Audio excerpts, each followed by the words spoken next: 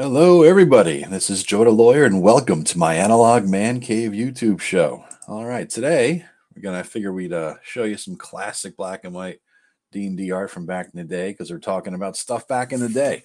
talking about how to make 5e D&D players, how, how to get them to adjust to OSR gaming, you know, the old school style right? So how, how, do you bring them into your campaign? Now, this came up because I'm starting, as you know, a, a, second edition campaign. I think I've got four or five videos right now on the prep, what I'm doing for it. Just released one this weekend. Check it out. But then this guy, he's about my age, about 50. And he hasn't, he used to play the old games back like we did when we were kids, but he hasn't played in decades, right? Like 30 years ago.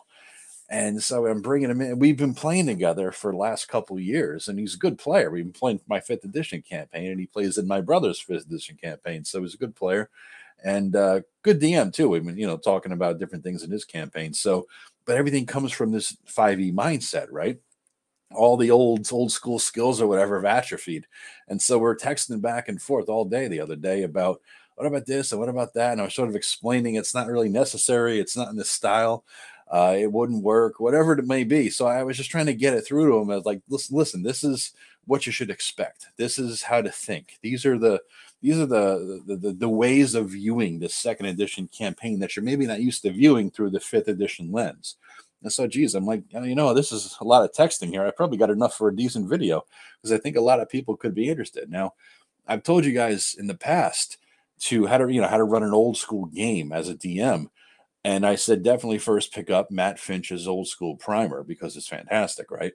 Now, that that is a good book, but it, it it's it's broad and it hits, hits all the relevant points.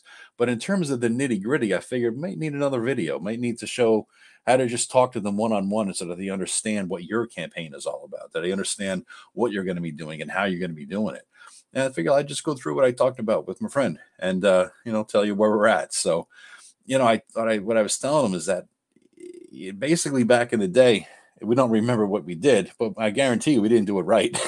we didn't do it by the rules. We made our crap up as we went. We had our flawed 14 year old kid brained interpretations of things, and uh, we ran with it. Everybody had a good time. And that's part of the whole game is make up your own rules. You know, house rule the crap out of everything, as you've seen. I have my long house rules and just have fun but you do have a different experience, a different play experience. Now, now he's thinking about making up a thief. All right. Um, and I call them thieves, not rogues, even though it's second edition. They're a damn thief because that's kind of what they do. I'm not gonna, you know, pussyfoot around the the names and all that. Now, he is uh he's looking at it from a, a, a good perspective because I told them to take a look at the one of the few things that those you know complete handbooks of whatever the heck they put out in the second edition day was a thief's handbook and i said check it out because there's a lot of thieves tools in there that could help bump up your percentages on various things. You might want to see and just I, I, said i remember the really good some of them some of them maybe broke the game so run things by me before you purchase anything with your starting cash. And he started reading for the flavor and he got into that as well and i said well geez if you want to read for flavor look at Lankhmar the the thieves of Lankhmar book. I think Nigel Findley put it out. Was the best thieves book ever made ever in any edition of the game. is freaking fantastic. So he's he's he's doing this and he's putting a lot of work into the guy, right? I said to him, you know, man, it's the first thing I said about the conversion. I said, you're putting so much into the background. Most people back in the day, we didn't name our dude until we got to like third or fourth level because chances are he's not going to make it. You're putting a lot of work into a guy who may not live beyond the first couple adventures. But he says, you know, he likes that because it helps him with the immersion factor. And I get that because for me, the immersion factor is keeping track of all the nitty gritty. How many arrows, how many coins, you know, who do we talk to? What did they say? I take a lot of notes. I'm that guy at the table. Um, so, so basically, the, the, the next step was to get him to wrap his mind around the fact that it's not optimized for combat. The only thing that's really optimized for combat are the fighters, rangers, paladins, things like that. A thief is not a combat class. Um, it, so it, the game is not combat focused like the newer third, fourth, or fifth edition is. I said, Here, here's the thing that I that I may maybe if you take away nothing else from this video, take away this. Don't focus on your role in combat. Focus on your role in the adventuring party because adventuring isn't all about combat in the old school days. All right. It's about a lot of other things. It's a lot, it's about about exploring. It's about uh, seeing weird magic stuff, being being creeped out. It's it's a little bit of horror, maybe. It, there's a lot to it that, that has nothing to do with combat. Most of it doesn't have to do with combat. One of the biggest reasons is is because of what you're looking at in terms of uh, how do you get XP? All right. I'm running with gold, even though it's second edition and didn't come baked into it. I'm, I'm carrying over the fact that you get gold for XP. Okay, so I'm, you get XP for gold. Jesus, have another shot. All right, so you, you get XP for gold. So to get five gold pieces, that's five XP. Now think about this for a second because this is a, this is something you got to really consider. Let me let me pull up, uh, for example, sliding over this PDF or the owl bear, right? The owl bear, you get 420 XP if you kill it. But look what you got to do to kill this son of a bitch. This guy's got a lot. He's got a lot of hit points. All right, he has five plus two hit dice, so five times eight plus two hit points, right? So what's he an average of in his 20, something like that? And he's rocking damage. One to six, one to six, and two to twelve. He could do a hug and, and rend you and this and that.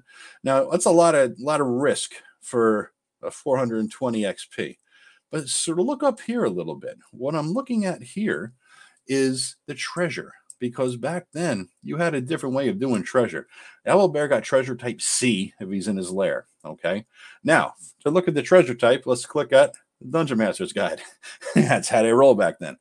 Treasure type C means there is a 20% chance of between 1,000 and 10,000 copper. 100 copper to a gold, guys. All right. 30% chance of between 1,000 to 6,000 silver. 10 silver to a gold, guys. That's a lot of freaking. If you pull that off, you get to max it out. That's 600 gold pieces. All right. The owl bear itself isn't even worth uh, four, only 420. All right. Move it along. 10% chance of 100 of 100 to 600 platinum, 25% chance of some gems, and they're not cheap, right? And then there's some art objects, one uh, 20% chance of one to three art objects, and then maybe a 10% chance of any two magic items, any two, not not just potions or some crappy ass magic, any two. That's worth something. Now, now what makes more sense? To try to beat the crap out of this owlbear and take his stuff, or to try to take the owlbear stuff? Okay, that's all you got to do. This thing isn't smart. Okay, it has a has a low intelligence, five to seven. I, have worked with some people a little, a little, lower than that, but still, it's not that smart. Okay, so you, you lure him out, you do the old breadcrumb trail, you sneak into his lair, you take his stuff. There it is. So you're not folk, even though you're a fighter, you, are better off not fighting sometimes. A lot of times, most of the time, fight if you have to, but get the treasure by all means. It's like Conan the Barbarian in the movie where the first one, where they, they had to go uh, uh, get the gem from that sleeping snake, and somebody woke the snake up, and like, ah, crap, now we got to fight the snake. They didn't want to fight the snake. They don't care. They want the damn gem. That's what you're looking at here in old school. So, I, all that being said, the reason I'm saying this is because you shouldn't focus on combat with your class, even as a fighter you want to be a little versatile on stuff, okay? What you want to do is focus on your role in the adventuring party, the exploration, the adventure, living the high life, getting back to town and blowing your money that you spend on, you know, wine, women, and song, and or you know, whatever it is that you want to do. But that that's what it's all about. But Fafhrd and the Grey Mouser and Conan, living that high life. And so this is what you're going to focus on. So if he's rolling up a thief, he has a lot of skills that he could use in a city, in a town, or in a dungeon. Okay. Don't think about adventure because you don't have to kill everything. Plus, don't forget monsters have morale. Monsters are great. Uh, because in, in in old games, they if you if you're rocking them, you, you kill a bunch of the monsters, like a bunch of goblins or something. You you nuke one with a fireball or a bunch of them. Next thing you know, they're scared to death. They got to make a morale check. They run away. Guess what? You get you get partial XP if they run away too, and you can go get their treasure in their lair. Bingo! You don't have to fight them. You don't risk death. Okay, you're going to get far more XP for getting the stuff than you are for getting getting in a fight. So don't get in a fight. That's the key. Now, they started talking about multi-classing. Now, multi-classing, I forbid it in 5e, but some some DMs allow it. And it's a way to min-max a character to have a build. It goes back to like, you know, MMOs and whatnot. I'm going to build this thing so it's impervious and awesome and great. And you, you nobody can ever fight him or hurt him, blah, blah, blah. No, that's not how it works in old school games. It is not a min-maxing game. Okay. Um, he wanted the multi-class. Eh, this is not this is not the way to go because you're going to be you know an elf or half elf. I think his, his character's a half elf, and yeah, he could be 150 years old and finally get to you know 10th level, 10th level, 10th level in his three classes. In the meantime, it took him so damn long to get there because you've got to split XP between all your classes, so you're only going up a third in each class as everybody else is going up a, a full level you're going to take so long to get there. By the time you get in 10th level, 10th level, 10th level in every class, and you're finally meeting the, the, the levels of your companions, they've either gone above 10th level or they're dead because they right. So it's going to take a long time to get there. So it's not worth it. Multi-classing is more for flavor. If you can do an all all demi-human group, yeah, then you might want a multi-class and say everybody gets two classes, and then everybody can, you know, it, it might be fun but it's more for purposes of role playing, or if you want to make a utility kind of guy, it's a different way to create a bard because I hate bards and I forbid them. But if you're going to multi class into three or four classes, boom, you got a lot of utility to the group. Never going to be great at anything, and your hit points are, you know, they're they're going to be definitely average or below average, but depending on the classes you pick. But still, you got you're you're like a Swiss Army knife, then, right? You do a little bit of everything, but not really great at anything. But you're great if you're a good role player and it's a city adventure because then you got complete versatility. Okay. So that's another way to think about it. It's not about a min maxing and what scores are going to go where. We played a, a Hyperborea game, formerly called Astonishing Swordsmen and Sorcerers of Hyperborea, a couple years ago. And my brother and I and a friend of ours, and my brother's done with his character. They rolled up number, the, their ability scores at the same time. My brother finished his, and we're looking at the the other guy, and he's like, "Where are you at, man? Were you, you almost done?" Because I'm still trying to figure out where to put the scores. I'm like, "Mother God, what?" Don't, don't think about that. It doesn't make a damn bit of difference. He's trying to min max the shit. Where where's it going to make the most sense? And he's looking at everything under the sun. I'm like, dude, just it doesn't matter. It doesn't make a difference. Don't bother with that. So it's not a min maxing game. Okay. Now, if you're if you are talking about roles in in your adventuring party, here, here's the basic rundown. Fighters are combat guys. Clerics are secondarily combat guys. That's why they get to use armor. Because here's a little known thing. You, you can't heal without touching the dude. So if a fighter's in the melee up in the fray with you know three ogres around him and he's down on hit points and the cleric needs to heal him, he's got to run up into the melee area and risk getting hit in the head by the by the giants or whoever he's fighting and touch him to heal him, right? Mages, just hide all that's all they do. They hide and they pew pew with darts and daggers or something like that. But every once in a while, they let loose the nuke. Okay, so they're all they're holding off. They're they're the red button. You push when all things are going wrong. They throw the sleep spell, their fireball, or you could use them as a utilitarian, uh, utility guy rather. If you look at it, you got, got a bunch of scrolls, maybe a potion or something like that. You could cast knock spell, you cast locate object, things like that are, are invaluable to a game because what, what you're doing is shortcutting around a whole lot of different things and problems and, and combats because combats are problems you don't want to risk. Okay, so you're you're you're shortcutting around a whole lot of things with a good mage. It was it gives you a lot of versatility and power when you need it. These are the best uh, class, in my opinion, to where just the purely adventuring guys. They they they could do the most in the most situations. Fighter's not going to do much in terms of what skills does he have, um, unless it's like a social thing and the guy, you know, the player is a good role player. But if you're just talking about the nuts and bolts of adventuring in a dungeon or something like that, the thief, you always want a thief with you. Unlike in fifth edition, where it's like, ah, thieves, they suck, whatever. So many people could do so many of the abilities that thieves classically had that it doesn't make sense to have a thief.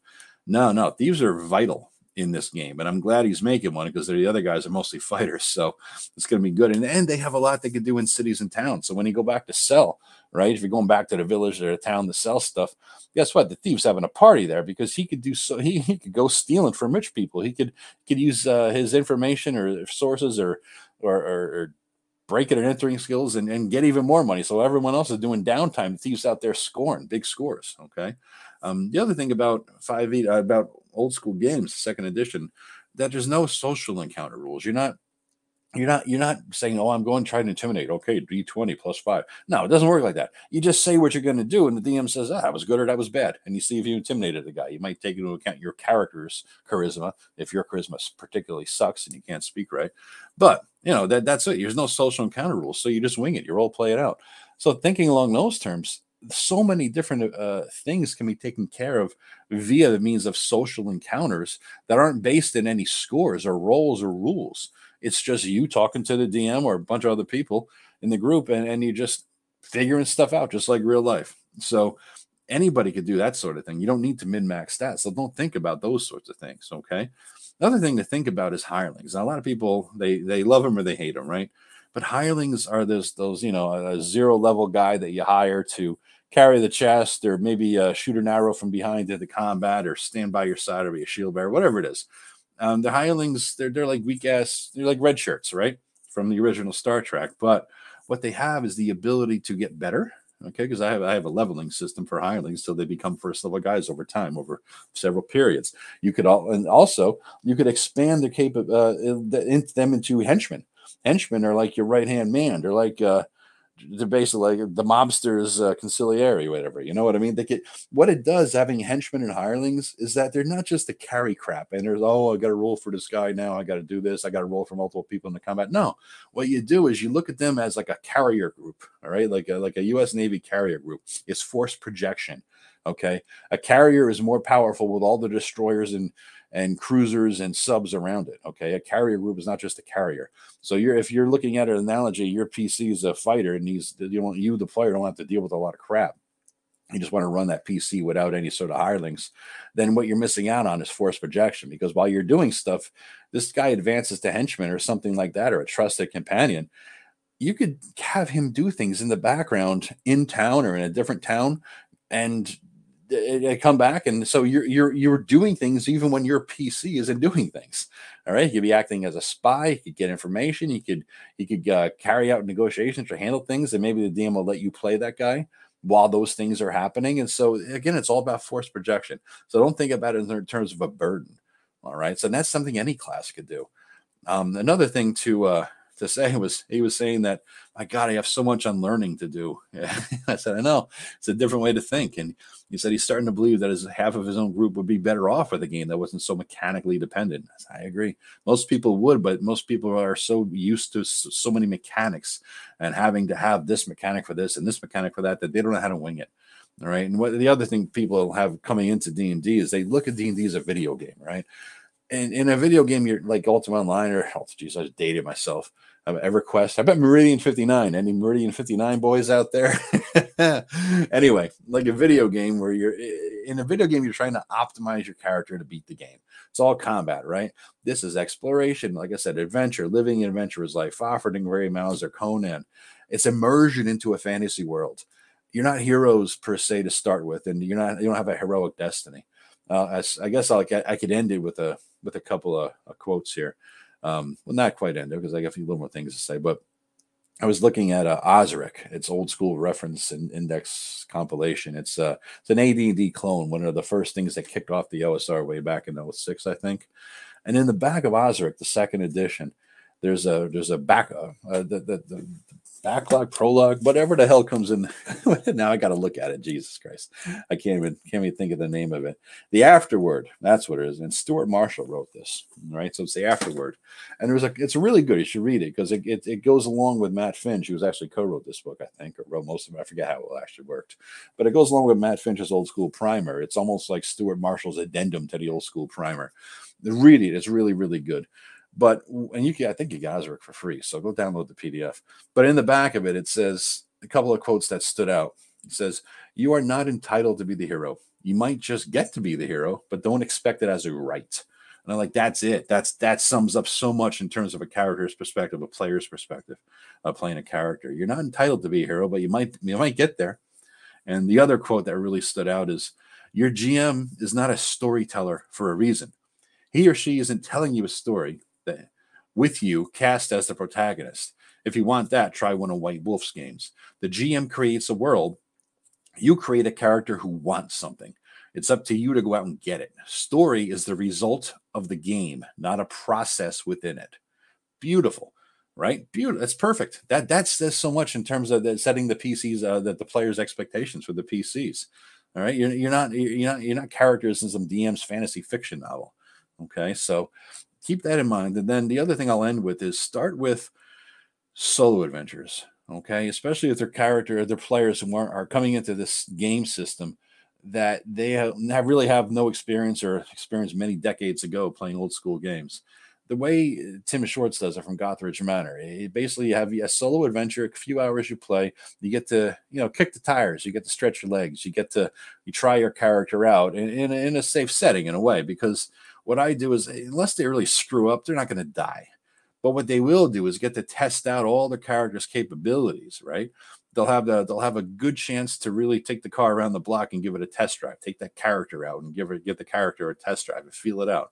The other thing a solo adventure lets you do is they can screw up they can make mistakes. They could have rules misunderstandings. They, they could they could act like idiots because they don't know what they're doing with their character because the character's new and they're not embarrassed to do so because there's not a lot of other players around. You know, it's like back to the car thing. It's like you're driving your your car for the first time, and you don't want any of your buddies to see you and mock you because you're in the parking lot with your father and you know he's yelling and screaming at you hit the fucking brake hit the brake no the other you know so we all been there right so you're panicking shit in your pants and your father's yelling at you you're hitting the brake hitting the hitting the brake and you know you look like an idiot you don't want your buddies to see you doing that. They'll mock the shit out of you forever. And nowadays with freaking phones and videos, you'll never live that crap down, right? So this is what a solo adventure does: is you get to go out there, kick the tires, take the car around the block, and uh, hopefully the DM's not like your father and screams at you. but you get to you get to try it out and then explore it, and then maybe make some contacts, have some connections, bring a rumor or something that to the to the first adventure when all the rest of the players get there. My brother did something recently where we all brought a bit of a of rumor so that when we all put it together, we got the rumor that starts off the adventure. It was kind of cool. So we're sitting around the bar, of course, that's where they all start. And we all put our rumors together like a jigsaw puzzle, and boom, we got the big clue to start the game off. So, like I said, start with solo adventures. And now for you guys who are running these games, I did a, a nice, good long video about uh, how to run your first OSR style game and so a lot of people thought it was good and just in terms of how to run any game. It wasn't even OSR as OSR specific as I thought it would be. So take a look at it if you're interested, guys. Um, and hope you enjoyed this video. Now, if you did, please hit like, comment, subscribe, and uh, and check out Tenkar's Tavern Substack. All that stuff is, is linked in the bottom. All my other ways to contact me because you got a lot of other old school YouTubers out there who are who are talking together, and uh, it's it reminds me of the blog days when we were all sitting around blogging with each other. So check that out and I hope you enjoyed it and share it out with your friends, guys. It's really, uh, it helps me a lot because I'm not the kind of guy who'll sit, sit there and do, I got to do five shorts a day and two live streams and 15 videos in order to get monetized. I can't, I don't have the time. I got a day job. Right. So I just so share it out if you like it and tell people about it and hopefully get more followers. Okay. More, yeah, more subscribers. All right. Well, thank you very much. And guys, it's, uh, Wednesday night at 8:20 p.m. Uh, the day before Thanksgiving. So anybody in America have a great Thanksgiving. Anybody who's not in America, enjoy the World Cup. All right. Anyway, take care, guys. Bye bye.